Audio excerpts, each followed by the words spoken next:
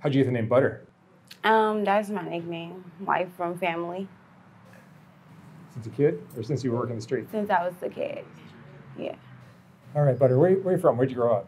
Um, I grew up in like Carson, California, and then as I grew older, I moved to Inglewood, California. And uh, tell me about your, your family growing up. You had both your parents? Yeah, I was with my mom growing up. My mom and my dad separated, but it's like, you know, my mom was a good mom. She did everything she could. She was a stripper for like 20 years. So, How was your childhood? Any abuse, any traumatic events, any hard time? uh, no child abuse. And like, no, like at the end of the day, when my grandma and grandpa died, that's when life like really got hard for my mama. Cause like she was adopted and stuff. So at the end of the day, that's like the most traumatic thing that happened when my grandparents died. So. And how far did you go in school? Um, I made it to the 11th grade. Well, I made it to the 12th, but I ended up going to jail and I never like completed it. And you started working the street at what age? At 15. 15. Yeah. How'd you do that? Um, You meet I- somebody? yeah, I met some guy and basically like he just was taking care of me, like what I thought he was taking care of me, like grooming me. And he taking me to the nail shop and stuff, and then he took me to a place and he was like, "Doc, you need to get out and make some money to prove that you care for me. And that's like where it all went down. So he was oper- operating basically as a pimp Yeah. or a boyfriend hustler? Well, he was my boyfriend, I thought. Like, he was my nigga because I was like 15, not even about to be 16. So I was just experiencing guys. So, yeah. Do you remember your very first time picking up a trick? Huh? Do you remember your very first time picking up a, a, a John? Yeah, when that, when I was, was down for him. hmm Who was your first customer? I went to jail my first time. You did. Yeah. Dead ass serious. It was a cop? Yeah, he was undercover Oh, wow. on Sepulveda. And are, are drugs a part of your life? Um, yeah, weed. And I used else? to do cocaine. Nothing else? No, You sure? I'm positive. And uh, today you're working on your own or with a, with a, Today I'm working on my own. you are? Yeah. And how is that?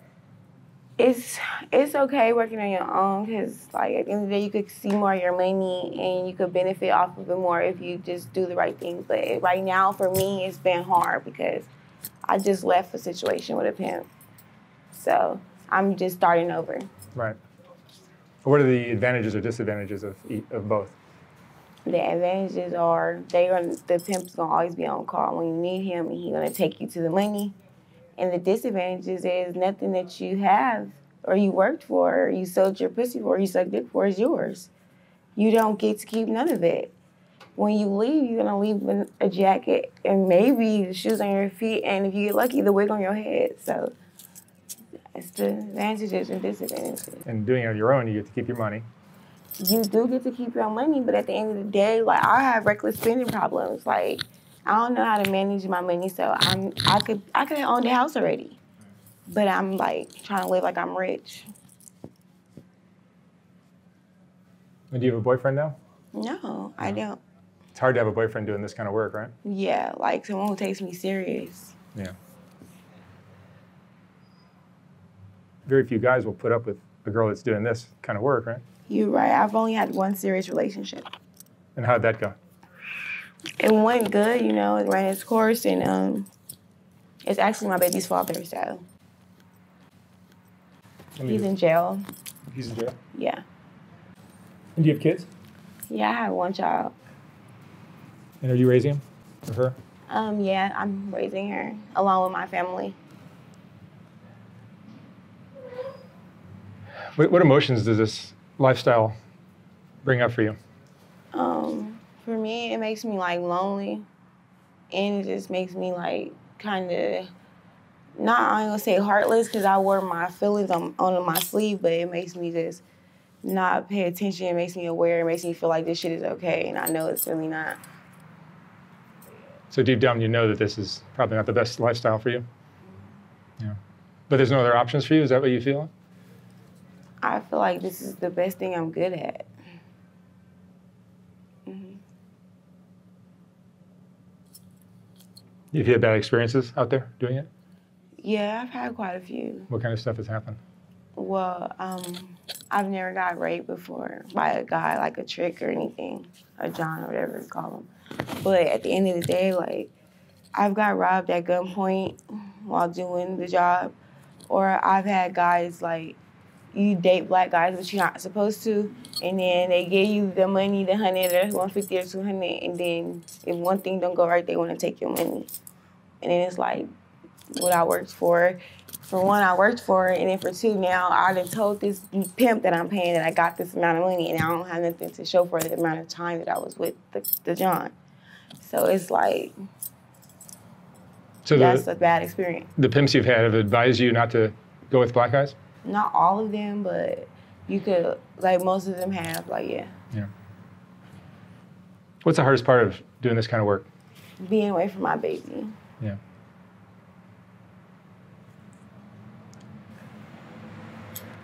What mistakes have you learned from in doing this? Are the things you've learned that, like, oh man, I, I wish I knew that earlier on? I'm still learning, but at the end of the day, I just wish I learned learned sooner.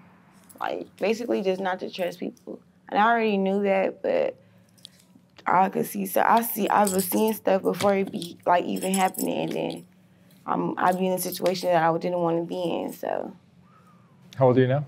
27. 27. What was the best time of your life? Um, the best time of my life was November 19th when I had my baby.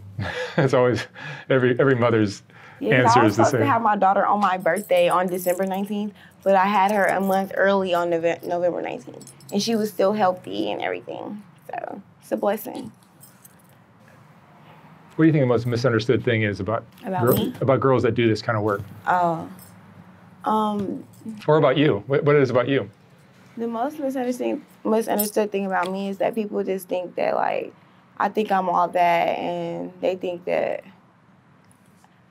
That I don't know. The most misunderstood thing is like I don't know. I guess I I don't try to portray to be perfect, but I just love myself, and I take myself into consideration. And it's like people be hating me, and like they don't be liking me or treating me how I treat them.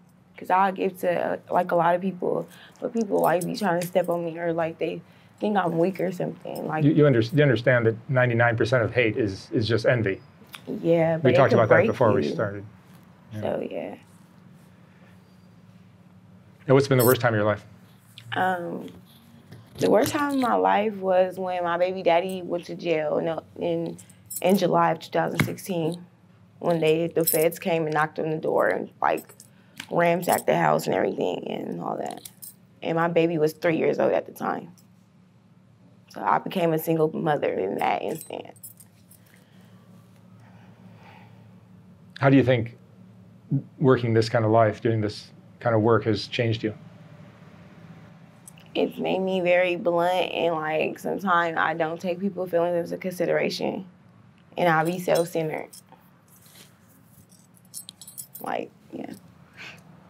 You, can- you can see that this life is crazy, right? It's a, it's a, it's a Yeah, very dangerous lifestyle for a girl, right? exactly. It is, and I'm not just saying that to agree. Like, yes, it is, because I'm living it. Do you think it builds your self-esteem or undermines it, or does both? Um, it just depends on who you surround yourself with. If you weak and you surround yourself around a pimp or something that's gonna pull you down and tear you down, that's what it's gonna be. But I don't know. It's hard to answer. Yeah. Do you still believe in love? No. Uh-uh. I know I be falling in love fast, but it's lust. It's not love. Yeah. I don't believe in love. Period. What kind of things does a girl need to know before she gets into this kind of life? What, what would you advise a young girl who's thinking about it? Just um, don't pay no guy if you want to get into it or whatever. If you want to get into it, don't get into it. Like, you know, I don't even promote it to dead ass serious. Like, it's different shows for different folks. Like me, I'm just a regular. I'm a woman, but I'm trying to like get some money, and I've been knowing how to do it. So at the end of the day, money attracts me. So I don't, I don't know, but it's different shows for different folks. Do you think you're addicted to it? Um, Yeah, probably because I'd be like, if I'm bored, I'm like, I'm about to go here, like you know, and like who just goes to hang out on the blade, but I'm not hanging out. Like I'd be really, it's, I want some money. So it's just thirsty, like, but it ain't thirsty. I'm thirsty for money. Yeah. It makes it hard to get out. Yes, I want. I see myself as being uh, like not a millionaire or like or like you know the thing that's under a millionaire. Like I see myself having a lot of things, and like I have had things. So I don't know. I want to have better for myself and for my daughter. Yeah. Do you, do you get ris- you know risky things that the guys the Johns want to do with you? all the time with no condoms and I'm not doing that. But you like it's fetishes and all that and I could be doing that shit, but no. I'm not sucking dick with no condom, risking you could get herpes on your lip from sucking dick, putting the condom on it with your mouth trying to be cute. So, excuse me. And what's just- what's the most important lesson you've learned? just be aware of the guy that you're dating and like you don't need to have like no home girls in the game because these bitches ain't your friends basically All right, Butter. Well, thank you so much for sharing your story, and uh, I wish you the best of luck. Hope you're hope you get to spend as much time as you need to with your daughter.